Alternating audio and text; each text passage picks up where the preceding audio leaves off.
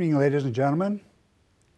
I'm Steve Manelski, and I'll be your host tonight as we discuss a somewhat grim but serious topic suicides among the military, both among the veterans and active duty soldiers, and what AMVETS, a major American veteran service organization, along with other activist organizations, are doing to address this crisis by creating suicide prevention outreach initiatives.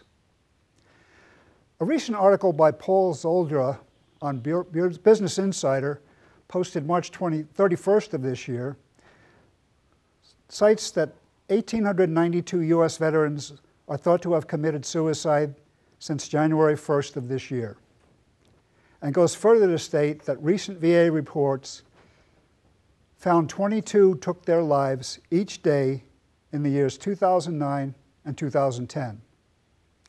My guest tonight are Tom Donwin from AMVETS Post 56 in Tulare, California, who heads up the statewide suicide prevention program, and Al Verrett from AMVETS Post 2011 here in Fresno. Tom is here to tell us about the Operation Just Save One program and the statewide suicide prevention outreach to veterans. Before we get started, we'll look at a, a new video clip from a YouTube posting by James Year on military suicide prevention done in 2011. All work and no play makes me a dope boy. All work and no play makes me a dope boy. All work and no play makes me a dope boy. Work and no play makes me a dope boy. Live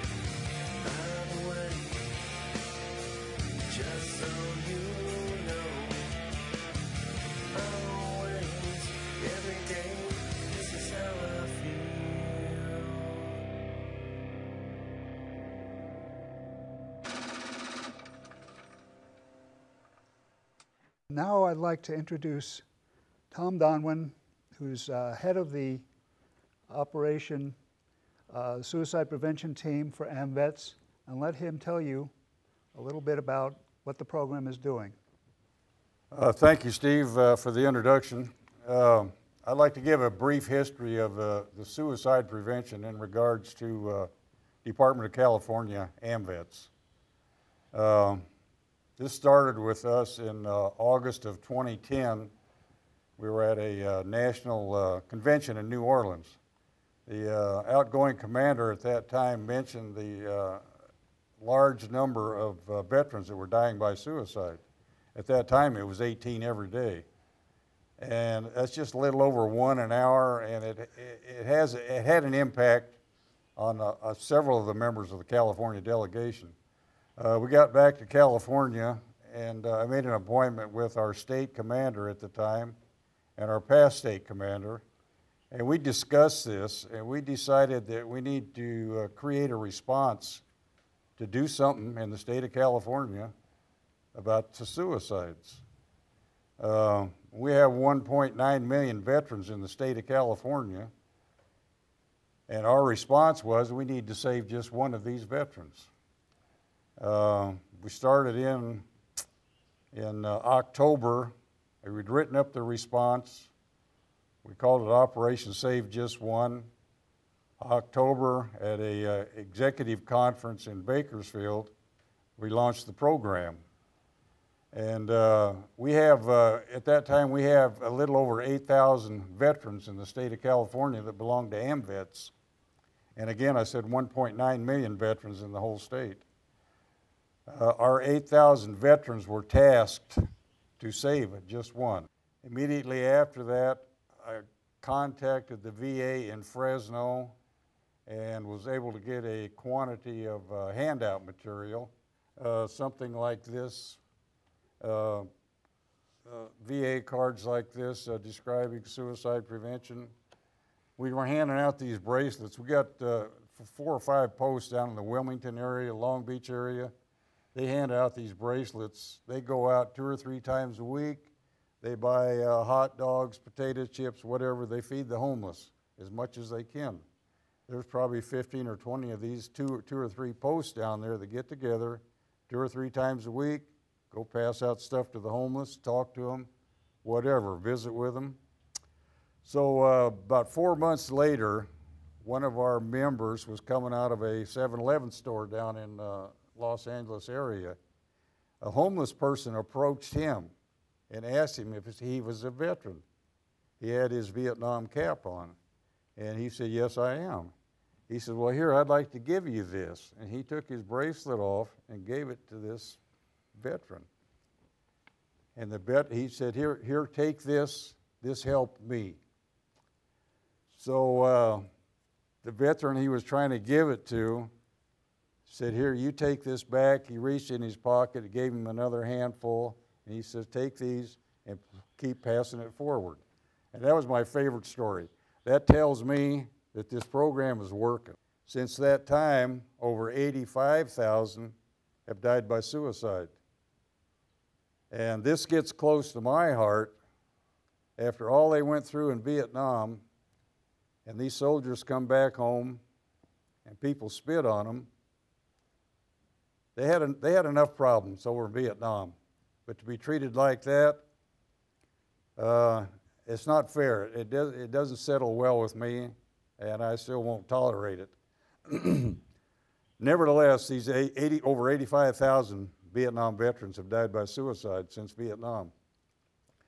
We're doing something about that too. Not particularly stressing Vietnam veterans, but any veteran. Like I say, we have 1.9 million in the state of California, and we want to do something about it, and we are doing something about it. Anytime that we could talk to people and let them know about this program and what we're going through, it everything every time it worked. Uh, I remember one of the first uh, uh, public speaking tours I had in Visalia. There were probably 45 people there, and all I'm doing is explaining the program. And during the program, I asked them, uh, "How many veterans in here? Raise your hands." Well, we had two of these people were veterans. I says, uh, how many people in here know a, know a veteran? Everybody raised their hand. And again, I'm back to civilians being our greatest asset. Every civilian knows a veteran, whether it's a relative, a son, a daughter, cousin, uncle. I know somebody that has a son that does it. This all works. Uh, I had a lady ask me one time, she says, now she says, I've got a bracelet that you gave me and I've got a card that you gave me. And she says, I like this program, how can I help? And I said, well, you can take that bracelet and wear that bracelet.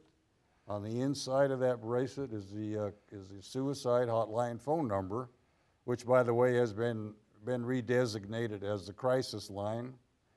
For obvious reasons, people don't want to uh, be associated with the name suicide. Uh, they're just reasons for it, whatever they are, they're varied. And the card. On the back of the card are symptoms of suicide. Let me, let me read just a couple of them. Uh, if you think about hurting or killing yourself, looking for ways to kill yourself, talking about death, dying, or suicide, self destructive behavior, anxiety, agitation, sleeplessness, mood swings, rage or anger, feeling, like there's no reason to live, engaging in ris- risky activities, increasing alcohol or drug abuse, withdrawing from family and friends. These are symptoms of it. It doesn't necessarily include it in this. Uh, uh, the three the three highest uh, causes of suicide are the uh, the uh, uh, alcohol and substance abuse, uh, uh, anxiety, depression, and the third is the PTSD. Uh, my personal opinion, all three of these should just be lumped into number one. Uh, you come back with P- PTSD, uh, you're probably going to be depressed anyway, and you're going to drink, may or may not do drugs, and all three of them re- lead right back to depression. But once we can, uh, once, once the veteran knows that this help is available through this phone number, and that's our job is at least get this phone number out there. Back again on the first of this, I have talked to literally, I have talked to thousands of veterans that have no idea. They have no idea that any help is available at all. They have absolutely no idea that this phone number will help them. It's called the crisis line. They dial that number, press one, and immediately they have help. The only difference between this phone number for uh, veterans and for civilians, a veteran presses one. The civilians get the same help. Uh, you can have the wife of a veteran that's having a problem, she can call this phone number. She can get help. My husband is doing this, he's reacting to this, he's doing this. Uh, PTSD, drugs and alcohol, what can I do? This phone, this crisis line will help her. They will give her somebody to help her out. They will lead her somewhere. And it's the same with the veteran. Uh, an aunt or an uncle can make the same call.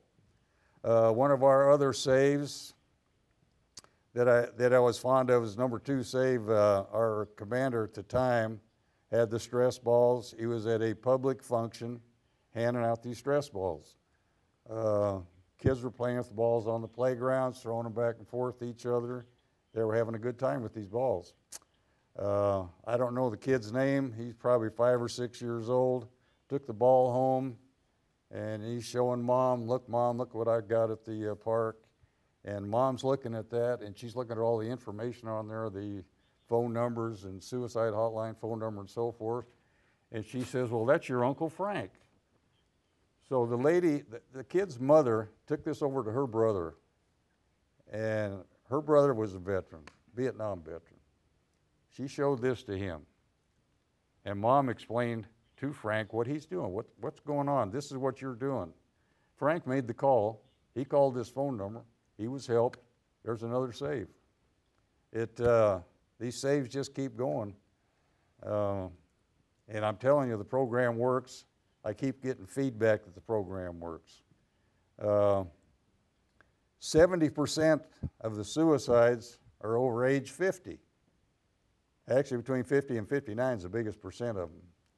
Uh, my opinion, I don't know who, who wants to share the opinion, it doesn't make any difference. My opinion is you get up to that age, your uh, coping mechanism is worn out. You're tired of fighting the battle, you're tired of the whole thing. You can't go anymore. And that's, again, that's just my opinion. Um, possibly your kids have gone, you've divorced, whatever. They're just reason after reason after reason that uh, it just it just keeps going.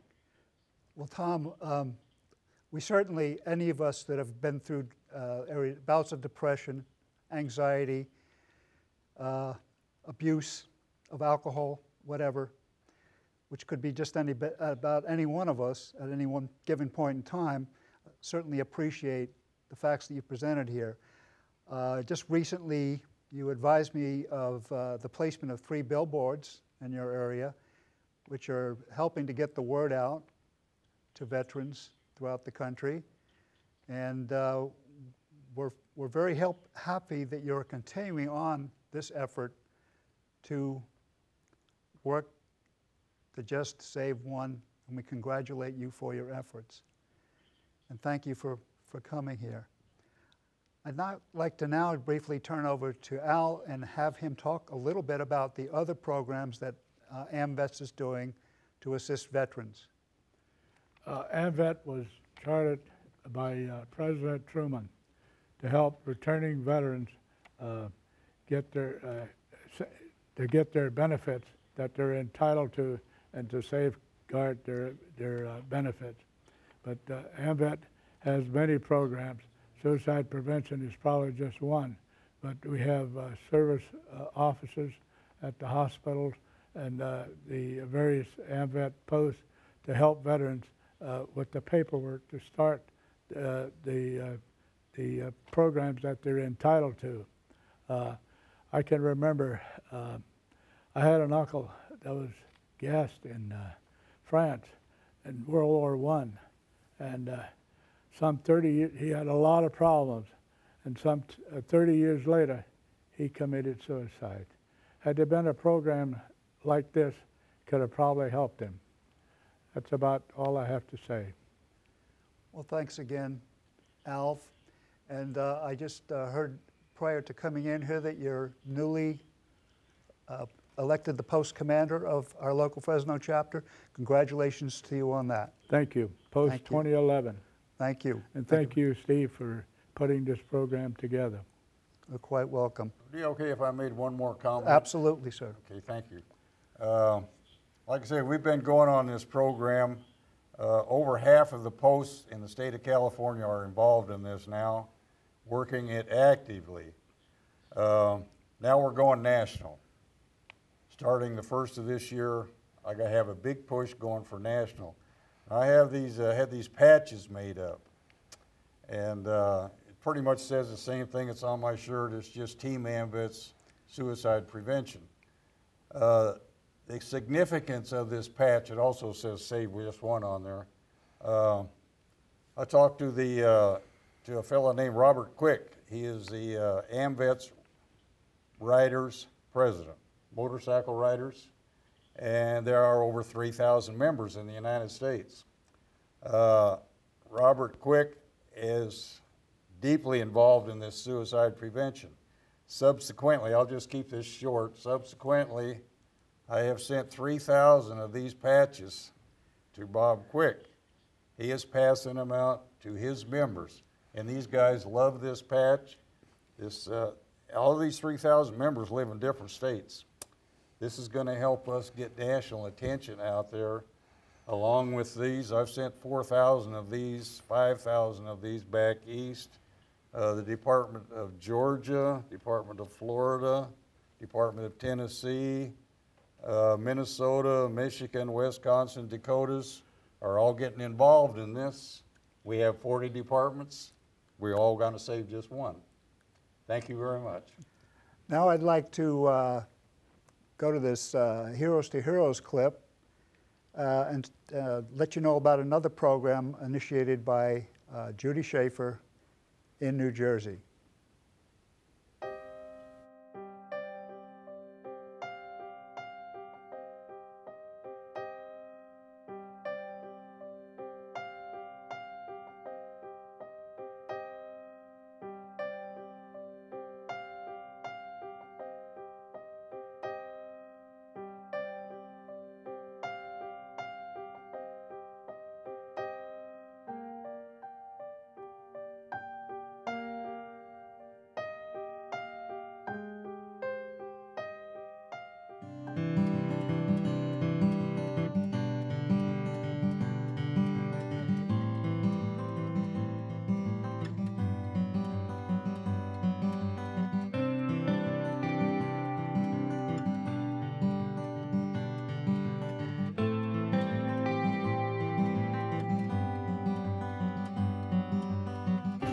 Time that Judith Schaefer spoke to me and uh, mentioned that there would be a trip like this, and she wanted uh, soldiers, wounded soldiers from from America to uh, meet up with soldiers, wounded soldiers from Israel. It was what a wonderful idea. What better way to better the relationship with Israel here. So um, I, I was all for it. I, I mean, my my bags were packed months ago. Was great to share, you know, our stories with each other and learn about each other's cultures. And uh, although we're thousands of miles apart, uh, in, in, in one way we're, we're kind of alike, and we, we bonded instantly.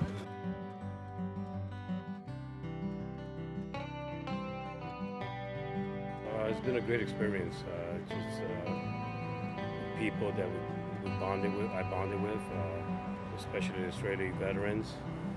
Uh, just the whole place is just overwhelming.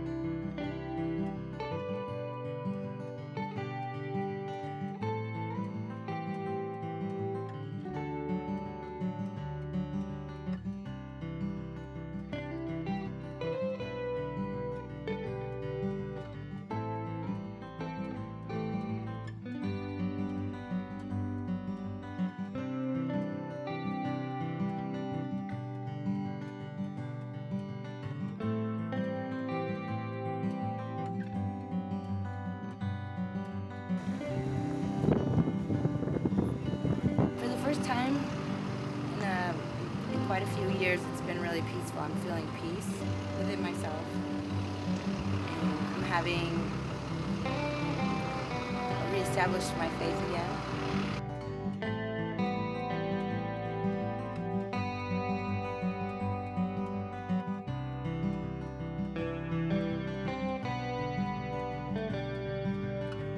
Masada was very touching. Uh, Jerusalem was spiritual. Uh, something I haven't felt in a long time. You know, sometimes you're numb because of the things that happen. You can't believe it happened. And I go to the wall. I can't believe it happened because you watch it on TV. I, I go to the Jesus' tomb, and it's I'm numb still because it's like so amazing how you finally got to reach that peak and plateau. You know. But um, here, the people has been nothing but generous to us. The government officials, the military, they made us feel wanted. They know what it's like to be a combat veteran. And, um, and, I, I'm really honored by that. You guys are part of my heart now, you know, because you made something, you made me a believer, you know what I'm saying? So, Tora Raban de Israel, y gracias todo. Thank you from all of us and to all of you guys who've done nothing but um, welcomed us. And, and the only way I said I keep coming back and you allow me to come back and um, this is where it's at, you know? So thank you. Thank you.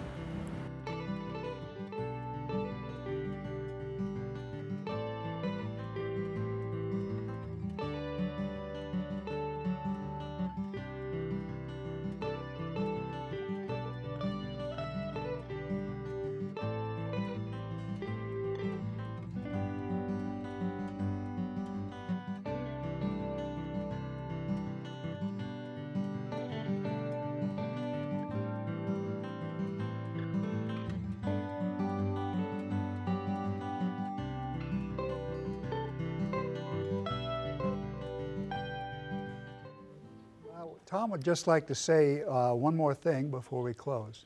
Well, actually, Steve, it's two more things, just two comments. I know that everybody has a cell phone.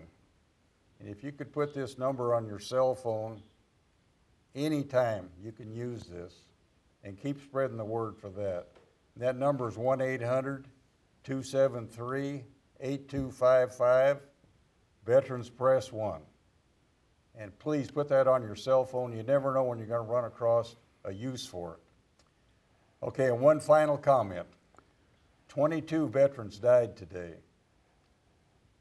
22 mothers cried today. Thank you, Steve. Thank you, Tom. The hour of departure has arrived, and we go our ways. I to die, and you to live. Which is better? Only God knows. This quote is attributed to Socrates, who died shortly thereafter by drinking a poisonous dose of hemlock. To record his death as a suicide is aptly a matter of dispute. He was forced into the action by the powers that be at the time after being convicted of impiety and corrupting the minds of the youth of Athens. I would prefer to, use, to view his death as a form of martyrdom in the Judeo Christian tradition. In Jewish tradition, suicide is considered to be a grave sin, both because it is denial that human life is a divine gift and because it constitutes the total defiance of God's will for the individual to live the lifespan allotted to him. Christian doctrine has by and large held that suicide is morally wrong. This, despite the fact that no passage in Scripture unequivocally condemns suicide.